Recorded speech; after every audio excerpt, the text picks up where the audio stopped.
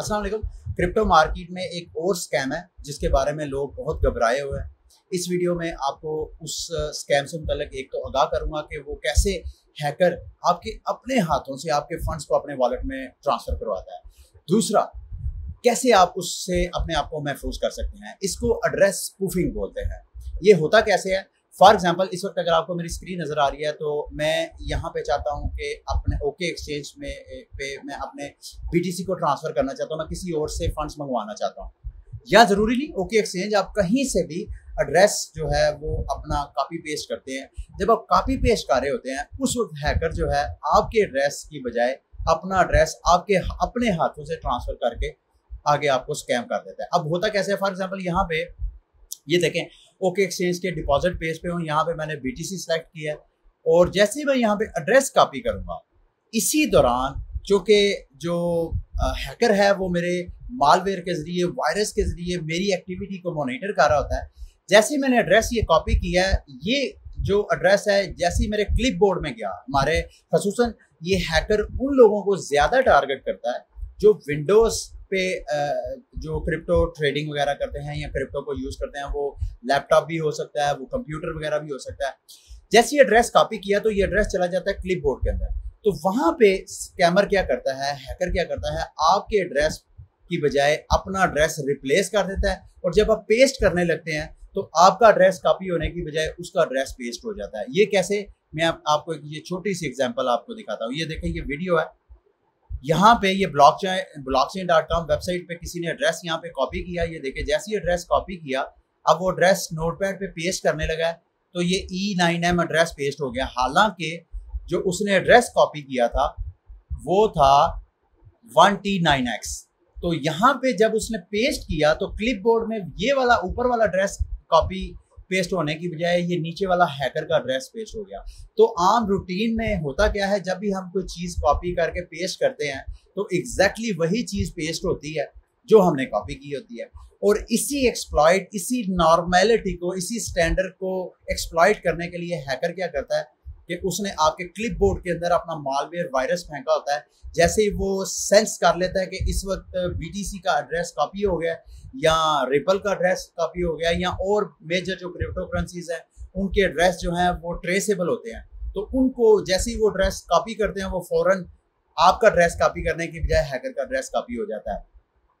अच्छा अब ये आपके जहन में सवाल आ सकता है कि भाई ये सिस्टम में आता कैसे है? जैसे मैंने आपको बताया कि ज़्यादातर जो विंडोज़ के यूज़र्स हैं उनको टारगेट करता है, लेकिन ज़रूरी नहीं कि ये विंडोज़ मैकनतोश पे भी हो सकता है इवन मोबाइल पे भी हो सकता है। अब होता कैसे है, दो तीन तरीके हैं। एक तो नॉर्मली जब आप क्रोम वगैरह इस्तेमाल करते हैं तो क्रोम में अक्सर एक्सटेंशन आती हैं फ्री एक्सटेंशन आप क्रोम पे एक्सटेंशन करते हैं download YouTube downloader ad blocker या इस तरह की बेशुमार फ्री आपको हैकर जो है वो एक्सटेंशन बना के देता है।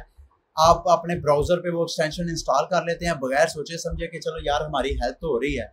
लेकिन वो जो फ्री सर्विस आपको दे रहा है, उसके बदले आप से वो मालवेयर आपके सिस्टम में इंजेक्ट करवा रहा है वायरस इंजेक्ट करवा रहा है। इसी तरह जब कभी आप पायरेटेड वेबसाइट्स पे जाके मूवीज़ वगैरह वॉच करते हैं या सॉफ्टवेयर वगैरह डाउनलोड करते हैं तो उस दौरान भी वो वायरस आपको मुख्तलिफ़ वेबसाइट्स को गो थ्रू करते हैं, वहाँ पे डाउनलोडिंग आ जाता है। या इवन अगर आप पायरेटेड सॉफ्टवेयर करते हैं तो क्रैक्स के दौरान भी आपके सिस्टम में वायरस, वो सॉफ्टवेयर तो क्रैक हो जाता है, लेकिन उस दौरान आपके सिस्टम में मॉलवेयर और वायरस वगैरह भी इंस्टॉल हो जाता है। बचने का तरीका, जाहरी बात है, एक तो यह है कि आपने पायरेटेड कंटेंट यूज़ नहीं करना, आप थोड़ा चीज़ें इस्तेमाल कर लें, लेकिन आप पेड चीज़ें यूज़ करें। और दूसरा रही बात ये क्रोम की एक्सटेंशंस की मजबूरी है, क्योंकि हम, मैं तो आपको मना नहीं कर सकता कि आप बिल्कुल ही एक्सटेंशन यूज़ ना करें। उसका तरीकाकार ये है, इस वक्त अगर आपको ये स्क्रीन पे मेरी नज़र आ रहा है तो ये मेरा इस वक्त इल्म आलिम नाम की प्रोफ़ाइल मेरी क्रोम पे लॉगिन है।